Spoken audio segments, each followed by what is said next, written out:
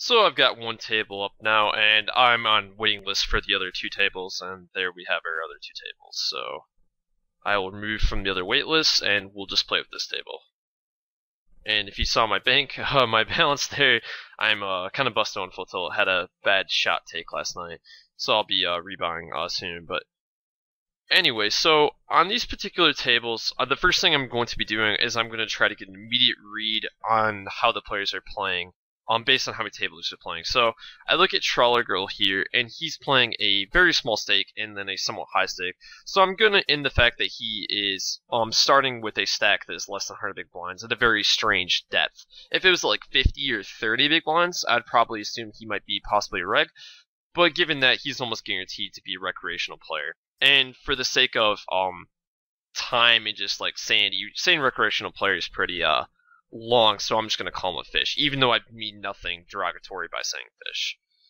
And so the same thing with Harry Potter. His name looks kind of reggy. We'll see how many tables he's playing. He's playing definitely way too many tables to be considered a recreational player. So I'll mark him as a as a uh, regular possibly.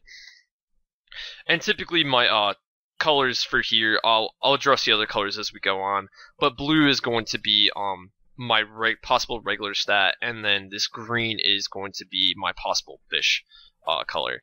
And it looks like Rickus here is possibly going to be a fish, just based on his name and he's playing two tables, so I'm gonna mark him possibly a fish. He could definitely be a reg though, and it's hard to say. Given the fact that he's potting every street, leads me to believe he's probably not a very thinking player.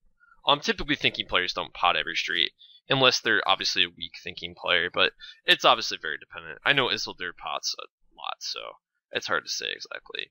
Uh, Fismosa Jones here is playing two tables, but his name just looks kind of riggy and looks like he's uh, full stack, so I'm going to mark him as a reg for now. Or at least try to. And so we have our first situation against like Call So What here. And um, I don't know too much about this player besides he's incredibly loose pre-flop from the last time, so I'm just going to play my hand in a very straightforward manner until we have more reads. That's really interesting. He checks back this flop. Um, it'd be really nice to have some stats on him. I'm just going to... Whoops. I apologize for this. I didn't have my HUD working at the time. So I'm just going to take a stab here. Um, he could definitely be check folding, and it might be better to check back here. He did decide to check fold. I am 100% going to note that. So I'm just going to note in the small blind, he steals, and then against BB, and then CF's a ace queen, CF, ace queen, for TTS PFR. And so basically when I'm going to start to think about this player, obviously very easy fold, and this is a pretty easy call here. No reason to 3-bet with bad kings. I could definitely consider folding, but against these two players, I definitely want to be playing a hand that's going to um flop well multi-way, and that like when I do flop set, I'm extremely happy getting in against both of them. Obviously, you know, if I flop top set, I'm always happy, but they're going to give me a lot of action just because they don't really like folding post flop too much. In my experience, I definitely have quite a few hands of both players. And then this uh this kind of purplish color is just a weaker aggressive player basically. And so it's interesting that I call so what definitely flats here, and I'm gonna have to um see what happened on that table. And so we'll kind of commentate through this hand as we wait. And so I call so what calls here really quick. I don't really think he has any six inches range. I don't think he would call that quick. And um I think definitely that's interesting to be hashed and not side value bet. So I'm gonna guess he had something like an ace X that picked up more equity in the turn, which he had two pair. So that's good to know that he's not turning two pair into a bluff on the river, and I'm going to note that. And then obviously very easy fold with a very uncoordinated hand.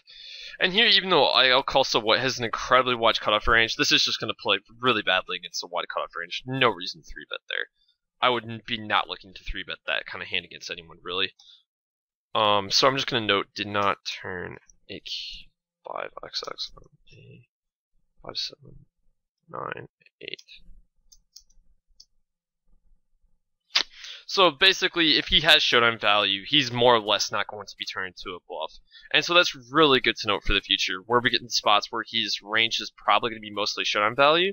And so if he does bet, he's probably going to um, not have a bluff typically. It's going to be um, typically something else, just because he did not turn showdown value into a bluff there.